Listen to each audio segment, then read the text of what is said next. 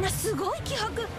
この砦を制圧したことでみんなの士気が高まったみたいね。こりゃ一気に鬼ヶ島まで上陸するぞ。だだだったら俺たちも乾杯済ませてさっさと合流しようぜ。ルフィ太郎さんたちが切り開いたこの木絶対に逃しません。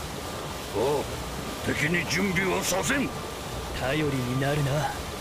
麦わらの一味おおあの人は出会った時からずっと絶望を希望に変え続けてくれる。うん。光月の侍よ。忠義にもゆる者の二ちよ。我らに続け。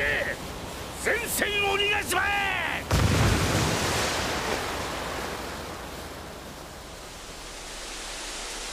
突入せよ。